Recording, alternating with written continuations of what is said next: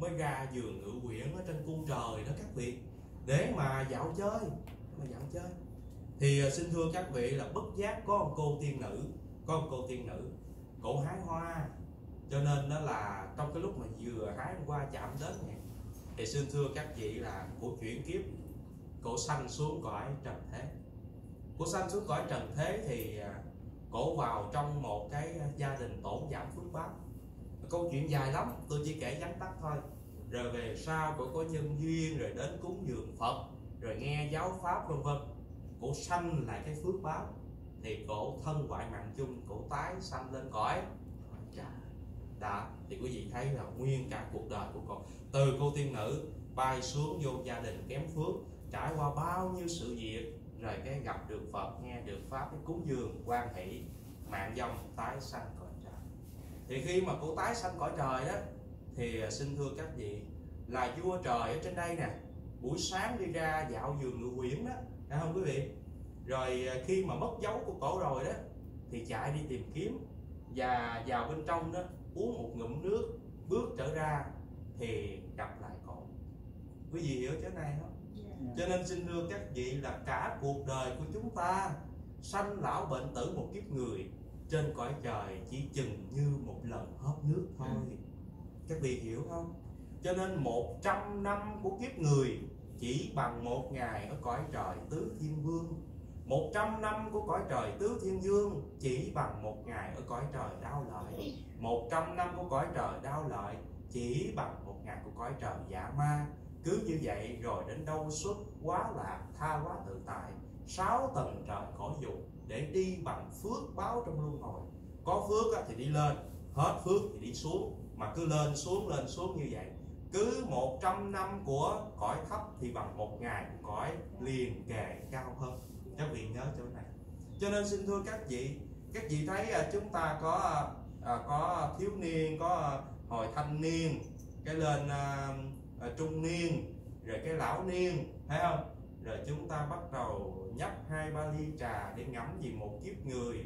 Được mất có không? Hơn thua. Là đúng sai phải trái. Nhưng mà kỳ thật ở trên cung trời chỉ như một lần hớp một ngụm nước thôi quý vị. À, cho nên nhanh lắm quý vị ơi. Quý vị thấy con mũi à, nó hút máu của mình. Nó đi tìm kiếm cực khổ. Nó hút cho no bụng.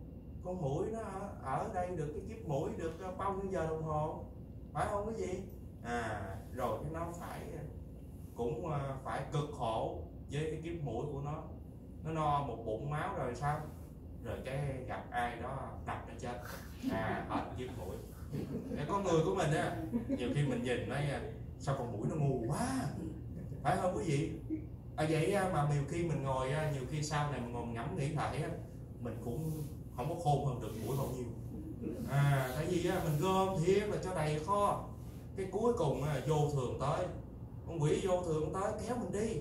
Rồi xin thưa quý vị không gom được cái gì hết à rồi cũng bỏ lại hết tất cả. Nhà quý vị nhớ vậy nha. Và hơn nữa trong kinh pháp cú lại kể câu chuyện vậy nè quý vị. À, xin lỗi trong kinh bách dụ có kể câu chuyện vậy. Có một tên ăn trộm chạy vô ngôi nhà cao sang quyền quý. À, nhưng mà nhầm khi đi ăn trộm trong cái đêm tối trăng tối sao cho nên nó không thấy gì hết à, đâu đó chỉ là những cái ánh đèn leo lét mà vô trong một căn phòng tối cho nên cứ ờ, gọi là rờ mò được cái gì thì lập tức túm lại đem chạy. Không thấy được gì hết trơn á. Thành vì vậy cho nên á rớ được mảnh giải thì tên trộm nó gom gom. Nó lựa gì cứng cứng thấy chắc đồng chắc vàng. Gom vô cái gì? Rồi bắt đầu túm một cái mảnh giải buông chạy. Tới chừng chạy ra khỏi căn phòng đó à xin thưa các vị thì đến một cái nơi khác thì thấy được ánh trăng rồi đó ló dạng rồi đó thì bắt đầu mới coi lại đóng đồ của mình. Thì té ra cái mảnh giải á mà cái người ăn trộm này quơ được đó lại là một chiếc áo gấm bằng chỉ vàng. Mà những cái thứ mà bỏ trong á toàn là dây chai lông vịt toàn là nùi vẽ à, toàn là mấy cái thứ rẻ tiền gom vô bị đem tốt thành. Cái gì ở chỗ này không? Đó thì trong kinh bách dụ phật dẫn chứng dạy để phật nói cho mình nghe. Nhiều khi lên núi báo mà về tay không. Đi một kiếp người, đừng nói rằng mình không có phước, mình thiếu duyên giảm có. Phước mình làm người nhiều lắm. Cái duyên của mình tìm đến thiện pháp nhiều lắm. Và trong cuộc đời của mình cũng gặp rất nhiều người tốt, rất nhiều thiện hữu tri thức, nhưng mình không có tận dụng được những vốn quý đó.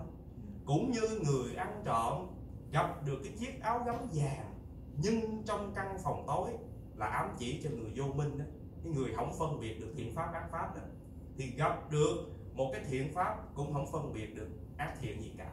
Thì cứ quơ lấy đại rồi lấy được cái chiếc áo gấm vàng tưởng làm gì đi gom ba cái đồ phế liệu không xài được. À, chúng ta cũng giống như vậy. Lên núi báo về tay không à, đem cái viên hột sòn đổi gói sôi thế là vào chùa tu tập được rồi. Phải không quý vị? À, nhưng mà cái mình thu lại á thì không được cái gì hết á. À, cho nên vào chùa có nhiều người thì được giảng sanh được giải thoát có nhiều người tụng kinh đơn sơ nhưng mà lại chứng được các tầm quả hoặc là càng ngày sự tu nó càng lên mặt càng sáng. À, có nhiều người thì tranh thủ tụng kinh rất là nhiều nhưng mà càng ngày thì hai cái chân mày nó nheo lại càng chồng. Mà làm chuyện này không vừa ý chuyện kiếm hài lòng. À, kinh này hay kinh kia dở. À, người này tu đúng người kia tu sai mà cuối cùng thấy mình đúng sai đúng sai ở lại luân hồi. À, còn cái người ta yêu lặng ta tu ta giải thoát nào cũng hay.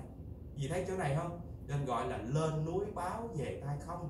Gặp được thiện hữu tri thức mà không khai ngộ được giải thoát. Thậm chí có nhiều cô phật tử á, đi chùa rất dễ thương. Mà chính vì dễ thương quá nên bị dễ thương hại. Để nên sao cũng dễ thương cũng gặp người dễ thương. Mà người dễ thương có nghĩa là tìm mấy ông thầy là phải đẹp tôi đâu có cần đẹp tôi là cần giải thoát. Ông thầy đen, ông thầy trắng miễn giải thoát thôi. Phải không quý vị? Chứ đâu có cần lựa mặt thầy đâu quý vị. Mình coi trong thầy nó có thuộc kinh không? Ông thầy nó có sống với đạo không? Ông thầy nó có chịu một lòng phụng sự tam bảo không? Tự nhiên không lại hỏi thầy tâm đức, nói sao thầy gì mà qua đây thầy còn trắng hơn mỹ nữa? Ngàn nét ơi, sao tiện quở tôi vậy? Tôi trắng được thể tôi chứ. Bây giờ cái trắng, đau khổ lắm thì phải đơn giản chuyện cho nên xuống tôi hỏi là chút xíu gì xuống, hỏi thầy thiện coi. Mấy bữa nay là tôi đi với thầy đi chào chào nắng lâu tôi đi ngoài đường không? Cho đen bớt, mà đen không nổi. Tại sao vậy? Nhầm nó trắng trắng hoài đó. Mà đi trắng quá ai ta cũng dòm dòm dòm dòm. Khi mình ngại quý vị phải không? Không lẽ giờ mình sức lọ nghẹ như bao công nó kỳ? Hoặc là cái người mà da vậy, ra nó đen, nó không đen, mà nó đốm đốm, đỏ đỏ, nó bị phỏng đó quý vị à, tôi cũng đau khổ lắm chứ bộ. Rồi xin đưa cái gì nó đâu liên quan gì chuyện tu phải không? Cho nên á tôi nói có nhiều phật tử trái ngang con lần tôi giảng ở đà nẵng tôi nhớ hoài. À, tôi ngồi chỗ bàn phật tôi nhớ hoài câu chuyện. Giảng xuống mập chết vậy. Ngồi đang hớp đi nước và mấy người phật tử ai ta cũng lại thay cho con xin zalo xin số điện thoại. Ờ à, thôi để, để về đọc kinh có gì không hiểu là thầy chỉ cho xin con cô phật tử cũng chen lên. Cái gì cổ chen cổ chen trong mấy bao nhiêu người cổ chen lên chen lên và chen lên. Thầy tưởng đâu hỏi câu gì chất lượng nha. Hỏi thầy thầy sức kem gì vậy? Trời vô duyên dễ sợ. Mà nhãn xuống mặt chết vậy. Không vậy. Trời mình xuống tinh thần luôn nữa này trời ơi con ơi mô a di đà phật à? Trời ơi phật trên bàn thờ cũng vậy trời ơi thầy sức kém gì bà nội chứ thánh thần thiên địa quả khổ lắm chứ phải đơn giản đâu. Cho nên xin thưa quý vị là nhiều khi chắc ờ, ít hơn chắc thôi quý vị ờ, nghe qua mời ba đỡ tôi tắt màn hình luôn. À, quý vị. Cho nên là nó không liên quan chuyện tu á. Tu nó không phải là đen với trắng. Thậm chí trong thời của đức phật còn phải thế á có một cái vị thánh tăng mà chứng đắc thánh quả a la hán đó là ngài kiều phạm ba đề. Mà quý vị biết đó, là tôn giả đó là ăn trước rớt sau nước miếng chảy nhiễu nhão ăn rất khó coi. Mà ngài là a la hán cho nên ai nhìn ngài cũng gọi là dè biểu khinh chê. Nhưng vì sao? Bởi vì ngài là 500 kiếp làm ngu vương tức là con trâu chúa. Cho nên á, tái sanh đời nay đó là cái thân cái thoại tướng của ngài nó như thế. Tại đức phật mới nói thôi ông hãy nhập thiền định mà lên cung trời giảng pháp chư thiên chứ không thuyết pháp cho cõi người. Vì người ở thế gian là phàm phu nhìn thấy sanh tâm phân biệt là mắc cái lỗi kinh chê bậc thánh a la hán quý vị hiểu không? Tái sanh cõi trời luôn. Cho nên đến khi mà phật nhập niết bàn là kết tập kinh điển là à, trong kinh mới ghi lại là có vị mới mới mới, mới lên cung trời nhưng mà thỉnh ngài kiều phạm ba đề xuống à, nó như vậy các vị rồi ngài a nan tôn giả đó thì miêu tả đó là thân tướng rất thư sinh rất đẹp đẽ. À rồi à, ngài ca chiên viên đó. À đặc biệt ngài ca chiên viên miêu tả trong kinh là đến nỗi như thế này quý vị là cũng da trắng mà chắc chắn hơn tùi nữa quá. À, trắng đến nỗi mà có một ông cư sĩ ổng sanh tâm bất kính luôn. Ổng nhạo báng ngài ca chiên viên ổng nói là nếu mà ông là đàn bà tôi sẽ cưới ông. Hoặc nếu như à, tôi mong muốn là vợ tôi cũng phải trắng đẹp như ông. Ông vừa nói xong trong kinh pháp cú có miêu tả cái chỗ này là ông bị mất cái tướng nam ông hiện tướng nữ liền mà ông câu chuyện rất là dài quý vị mà ông đỏ khổ đỏ khổ cho nên đó là những cái vấn đề mà thầy kể gần xa trong trong kinh văn để chúng ta nhớ nhớ nghe còn ngày một kiền liên đó thì ngài là xin thưa các vị là rất là dõng mạnh và thân tướng thì phải nói rằng là trượng phu mà to cao à, sậm da đi đến đâu là cũng dẫn đường à, để mà sao? Để mà dẫn lối cho đức phật không bị ngoại đạo giết đáp.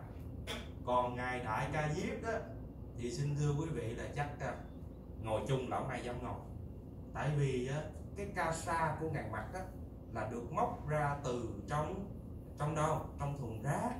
Ca sa của ờ, quốc giải tử thi là y phấn tảo mà cho nên là rất hôi cho nên nhiều người ta khinh dê nhưng mà ngài là hành đầu đà đệ nhất.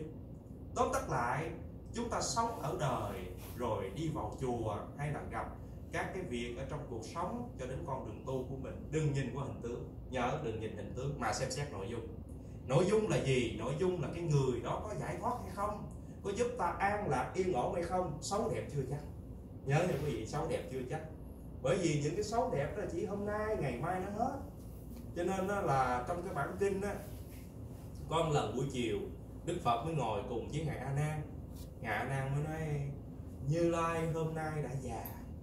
Thì đức phật nói đúng như lai hiện ra tướng già suy à, trong cái bản kinh đức phật có già không các vị? Có phải không các vị? Cho nên các vị đừng chấp qua cái hình tướng. Hình tướng thế nào là đẹp đấy? Tất cả là do cái quy định của mình à chứ thật sự ra cái đó là do cái định kiến của mình thôi.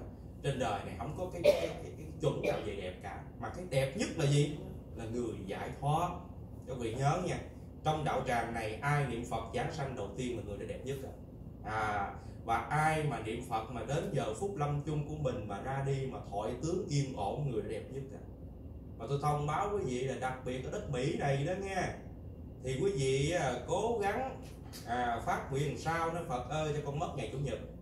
À, chứ còn mất mà từ thứ hai thứ bảy á, thì phải chịu khó nằm máy lạnh nè nghe. À, rồi à, phải bút xô mới tới lễ tang của mình. À, còn nếu mà ngày chủ nhật á, thì thân quyến tập trung lại ta hộ điểm liền cho mình. À, rồi á, là lúc đó là phật a di đà mà đến trước là nhớ không có sách vali. Về tây phương cực lạc không mang theo gì hết tập trung lo niệm phật giảng sanh. À, chứ đừng có sách cái túi này túi kia à, là đi không kịp. Nhớ nha quý vị túi ba gan chưa được chứ đừng may túi chín gan nữa thôi ở lại luôn. À chính vì vậy các vị nhớ. Cho nên là chúng ta phải tu làm sao cho hiện tại nhìn vô mình phải có cái hào quang quang rạng và cái thoại tướng của mình khi mà giải thoát cũng phải như vậy.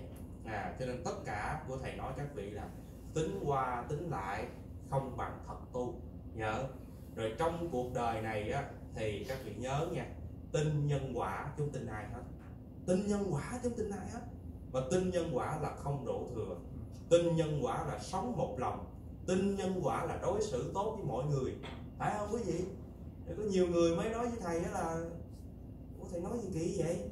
Rồi nếu mà sống về không phòng hờ thì lỡ ta hại con là sao? Thì xin thưa quý vị quý vị phải tự hỏi vậy. Ta hại được mình mấy lần? Chỗ này quan trọng đừng có đổ thừa, mình tu cho nên nhu nhược bị ta hại. Mà thầy thường hay hỏi lại, bị ta hại mấy lần?